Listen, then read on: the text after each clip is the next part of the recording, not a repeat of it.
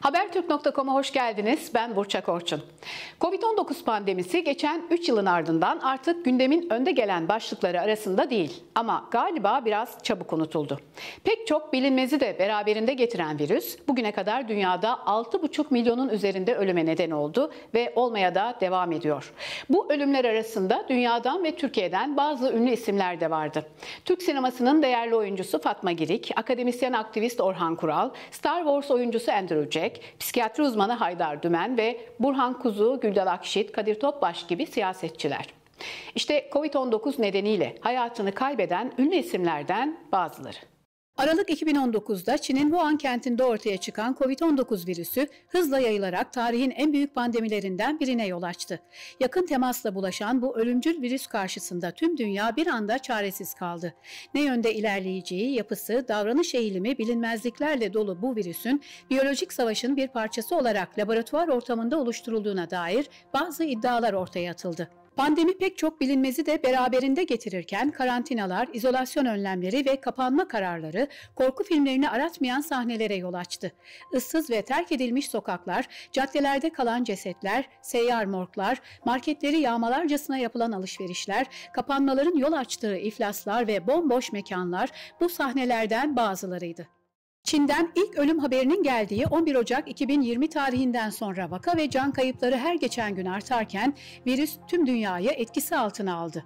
Bu sırada koronavirüs salgınını tespit ederek sosyal medya üzerinden dünyaya acil durum uyarısında bulunan Çinli doktor Li Wenliang, internette söylenti yaymak ve kamu düzenini bozmak suçlamasıyla tutuklanıyordu. Li hastasından kaptığı virüs nedeniyle 7 Şubat 2020'de 33 yaşında hayatını kaybetti. 11 Mart 2020'de Dünya Sağlık Örgütü koronavirüs salgınını pandemi kategorisine alırken Türkiye'den de ilk vaka açıklaması geldi. Aynı gün ünlü aktör Tom Hanks eşiyle birlikte yaptırdıkları koronavirüs testinin pozitif çıktığını açıkladı. Hanks ve eşi hastalığı atlatırken dünyaca ünlü caz müziği sanatçısı Manu Dibango, Hint aktör Sumitra Chatterjee, Meksikalı müzisyen Armando Manzanero koronavirüs nedeniyle hayatını kaybetti. İyi haber 16 Mart 2020'de ABD'den geldi. Koronavirüse karşı geliştirilen aşının ilk denemesi Seattle'da bir gönüllü üzerinde yapıldı. Deneme yapıldığında 43 yaşında olan Jennifer Heller pandeminin ilk gönüllüsü olarak tarihe geçti. Ancak virüs kaynaklı ölümler her geçen gün artarak devam etti. 31 Mart 2020'de Star Wars serisi filmlerde canlandırdığı kötü general karakteriyle bilinen İngiliz aktör Andrew Jack, koronavirüs nedeniyle 76 yaşında hayatını kaybeden ünlüler arasına girdi. Aynı gün Türkiye'de oyuncu Turhan Kaya da koronavirüs nedeniyle 68 yaşında hayatını kaybetti. Pek çok dizi ve sinema filminde rol alan oyuncu, Kurtlar Vadisi Pusu dizisinde canlandırdığı Ordinarius karakteriyle tanınıyordu. Bu sırada Avrupa salgının merkez üssü haline geldi. Bir günde kaydedilen ölüm sayısı 4000'e yaklaşırken Avrupa Komisyonu Başkanı Ursula von der Leyen, AB'nin mücadelede çok geç kaldığını itiraf etti. ABD'deki can kayıpları Çin'i geçerken Çin virüsü tabirini kullanan dönemin ABD Başkanı Donald Trump, Çin'i dünyayı zamanında bilgilendirmemekle suçladı ve bir süre sonra da Çin yanlısı davranmakla eleştirdiği Dünya Sağlık Örgütü'nden çekildiklerini açıkladı. Pandemi nedeniyle Avrupa Futbol Şampiyonası, Eurovision şarkı yarışması ve 2020 yaz olimpiyatları gibi uluslararası dev organizasyonlar 2021'e ertelendi. Pek çok ülkede sınırlar kapatıldı, uluslararası uçuşlar iptal edildi. 2020 yılında tek kriz nedeni pandemi değildi. Aynı yıl uluslararası para fonu büyük buhrandan bu yana en kötü dönemine giren küresel ekonominin %3 civarında küçüleceğini öngördü. Ekonomi pandeminin de arkasında bıraktığı enkazın ardından bugün de en önemli küresel sorunlardan biri. Nisan 2020'ye gelindiğinde dünyadaki vaka sayısı artık milyonlarla ifade edilirken Türkiye'deki ilk vakalara müdahale eden ekibin içinde yer alan Profesör Doktor Cemil Taşçıoğlu 1 Nisan 2020'de 67 yaşında koronavirüsten hayatını kaybeden ilk hekim oldu. Bu ölüm nasıl bir süreçle karşı karşıya olunduğunu göstermesi bakımından derin bir etki yarattı.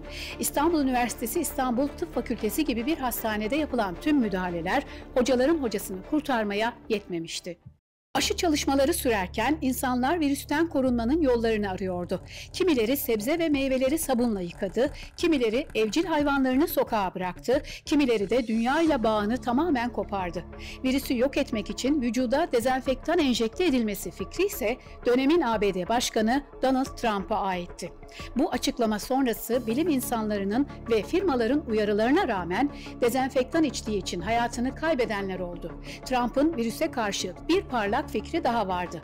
Vücuda çok fazla miktarda ultraviyole ışık verilmesi. Maske ve karantina gibi önlemlere karşı çıkan Trump, Beyaz Saray Sağlık Danışmanı ve koronavirüs görev gücü üyesi Dr. Anthony Fauci ile sık sık karşı karşıya geldi.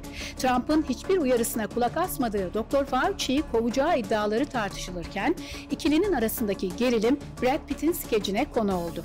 Tüm bunlar yaşanırken ABD bir yandan da George Floyd adlı bir siyahın polis tarafından gözaltına alınırken öldürülmesi olayıyla yankılanıyordu. Floyd'un defalarca nefes alamıyorum şeklinde seslenmesine rağmen diziyle boynuna dakikalarca baskı uygulayarak hayatını kaybetmesine yol açan polis 21 yıl hapis cezasına çarptırıldı. Bu olay sonrası başlayan ırkçılık karşıtı protesto eylemleri ise sadece ABD'de değil, dünyanın pek çok ülkesinde uzun süre devam etti. Maske ve mesafe önlemlerini sekteye uğratan bu protestolar koronavirüsün yayılma riskini artırırken pandemiyle mücadele adına alınan önlemler, kapanmalar, kısıtlamalar bir süre sonra tepkilere neden oldu. Almanya, İngiltere, Fransa gibi Avrupa ülkelerinde yüz binlerce kişinin katıldığı protesto eylemleri düzenlendi. Koronavirüs kaynaklı can kayıpları bu sırada dünyada hızla artarken Japon komedyen Ken Shimura 71 yaşında, Amerikalı caz piyanisti Elis Marsalis 85 yaşında, İtalyan ayakkabı ve çanta çanta tasarımcısı Sergio Rossi 84 yaşında, parfüm, cilt bakım ürünleri ve kıyafet alanında dünya ünlü Japon moda tasarımcısı Kenzo Takada ise 81 yaşında koronavirüs nedeniyle hayatını kaybetti. Pandeminin moda dünyasına yansıması yaşanan kayıplarla sınırlı kalmadı. Bu sırada hemen hemen tüm ülkelerde online eğitim ve uzaktan çalışma modeli uygulamaya girdiğinden 2020 yılı için tasarlanan ofis kıyafetleriyle topuklu ayakkabılar raflarda kaldı ve yerini spor modellere bıraktı. Altı pijama üstü ceketle Zoom toplantılarına katılan insanlar zaman zaman ilginç görüntülere neden oldu. Zoom üzerinden takip edilen dersler, düzenlenen toplantılar, iş ve eğitim hayatının ayrılmaz bir parçası olurken literatüre Zoom yorgunluğu kavramını kazandırdı. Zoom'un açıkladığı Türkiye verilerine göre ücretsiz kullanıcı kayıt sayısı Nisan 2020'de Ocak ayına göre tam 139 kat arttı. Başlarda salgını hafife aldığı için eleştirilen dönemin ABD Başkanı Donald Trump, dönemin Brezilya Devlet Başkanı Jair Bolsonaro, dönemin İngiltere Başbakanı Boris Johnson, daha sonra kendileri de virüse yakalanmaktan kurtulamadı. Johnson, koronavirüs kısıtlamaları döneminde katıldığı bir partideki görüntüleri ortaya çıkınca özür dilemek zorunda kalırken, Bolsonaro salgını hatalı yönettiği gerekçesiyle cinayet dahil çeşitli suçlarla itham edildi. Bu sırada yapılan çalışmalar koronavirüs nedeniyle hayatını kaybedenlerin çoğunlukla 65 yaş üzeri vakalar olduğunu ortaya koysa da Kanadalı aktör Nick Cordero Temmuz 2020'de COVID-19'dan hayatını kaybettiğinde 41 yaşındaydı. Virüse karşı hastanede 3 aydan fazla mücadele veren Cordero, geride yine kendisi gibi ünlü olan televizyon sunucusu eşi Amanda Klutz'la henüz birkaç aylık olan oğlunu bıraktı. Bilinmeyen bir virüs karşısında aciz kalan insanoğlu bu sırada Mars'ta yaşam izi arıyordu. NASA'nın yeni keşif aracı Temmuz 2020'de Mars misyonu için yola çıktı. Koronavirüse karşı sıtma ilacı başta olmak üzere çeşitli ilaçlar denense de gözler aşı çalışmalarındaydı. 2020'nin başlarında pek çok ülke ve uluslararası kuruluş COVID-19'a karşı aşı geliştirilmesi için harekete geçti. Ağustos 2020'de Rus aşısı Sputnik V Rusya'da tescil edilerek bazı ülkelerde uygulansa da güvenilir ve etkili olup olmadığı hala tartışılıyor. Aralık 2020 itibarıyla Sinovac, Johnson Johnson, Moderna, AstraZeneca ve BioNTech dünyada yaygın olarak uygulanmaya başlayan aşılar oldu. Bu süreçte tüm dünya BioNTech şirketinin sahibi bilim insanları Özlem Türeci ve Uğur Şahin çiftiyle tanıştı. Türeci ve Şahin çiftine Nobel ödülü verilmemesi birçok bilim insanının tepkisini çekti. Tüm dünyada hem vaka sayıları hem de can kayıpları katlanarak devam ederken pek çok ünlü isim de virüse yakalanmaktan kurtulamadı. Pandeminin ilk yılında Haldun Dorman, Hadise, Gülben Ergen, Timuçin Esen, Şener Şen, Bryan Cranston, Idris Elba, Robert Pattinson, Antonio Banderas, Olga Kuryelenko, Fransa Cumhurbaşkanı Emmanuel Macron ve dönemin İngiltere Prensi Charles, COVID-19 testi pozitif çıkan ve hastalığı atlatan pek çok ünlü isimden sadece bazılarıydı. Ancak tiyatro, sinema ve dizi oyuncusu Halil Kumova, Türk sinemasının emektar oyuncularından Orhan Çoban, eski Kara Kuvvetleri Komutanı Aytaç Yalman, siyasetçi ve akademisyen Burhan Kuzu, akademisyen ve aktivist Profesör Doktor Orhan Kural gibi hastalığı atlatamayan isimler de oldu. Büyük Türkiye Partisi'nin kurucusu siyasetçi Haydar Baş, bir dönem Fenerbahçe'yi çalıştıran Hırvat eski futbolcu ve teknik direktör Otto Baric, dünya şampiyonalarında birincilikleri ve önemli dereceleri olan Türk güreşçi Reşit Karabacak, yine pandeminin ilk senesinde Covid-19 nedeniyle hayatını kaybeden ünlü isimler arasındaydı. Dünya pandeminin birinci yılını yaklaşık 2 milyon can kaybıyla tamamlarken Aralık 2020'de eski ABD başkanları Barack Obama, George Bush ve Bill Clinton koronavirüs aşıları ile ilgili şüpheleri gidermek için kameralar önünde aşı olabileceklerini açıkladı. Çünkü pandemi ve aşılarla ilgili sayısız komplo teorileri gündeme geliyor. Tüm yaşananlar bazı kesimler tarafından arkasında küresel sermayenin olduğu büyük bir oyun olarak değerlendiriliyordu. Dünya nüfusunun azaltılmak istendiği ve bu amaçla virüsün laboratuvarda üretildiği, aşılarla insanların kısırlaştırılmak istendiği, ABD'li iş insanı Bill Gates'in insanlara çip takmanın peşinde olduğu iddiası bu komplo teorilerinden bazılarıydı. Dünyanın en zengin insanları arasında başlarda gelen Gates'in bazı aşı şirketlerinin yatırımcıları arasında yer alması ve salgınlarla ilgili öngörülerde bulunması tartışmaların en önemli nedenleri arasındaydı. Özellikle sosyal medya aracılığıyla kamuoyuyla yayılan bu komplo teorileri aşı karşıtlığını da körükleyerek süreci olumsuz yönde etkiledi. Türkiye'de aşı uygulamaları 13 Ocak 2021'de Sağlık Bakanı Fahrettin Koca ve Bilim Kurulu üyelerinin vatandaşları teşvik etmek için canlı yayında aşı olmalarıyla başladı. Çin menşeli Sinovac Coronavac'ın ardından 12 Nisan 2021'de Alman Pfizer-BioNTech aşısının kullanımına başlandı. Dünya 2021 yılına aşı uygulamalarının getirdiği umutla girerken ABD, Donald Trump'la Joe Biden arasında geçen gergin başkanlık seçimleri sonrasında kongre baskınının şokunu yaşıyordu. Bu sırada aşıların adil dağılımı ile ilgili tartışmalar da başladı. Dünya Sağlık Örgütü Başkanı, koronavirüs aşılarının küresel çapta daha adil bir sistem çerçevesinde dağıtılması gerektiğini söyledi ve zengin ülkelerin aşıları yoksul ülkelerle paylaşmaları gerekiyor dedi. Bir yandan da pandemi kısıtlamalarına yönelik protesto eylemleri tüm dünyada yayılarak ve şiddetlenerek devam ediyordu. Sürekli artan vaka ve ölüm sayılarına rağmen bazı kesimler ne önlemlere, ne aşılara ne de virüse inanıyordu.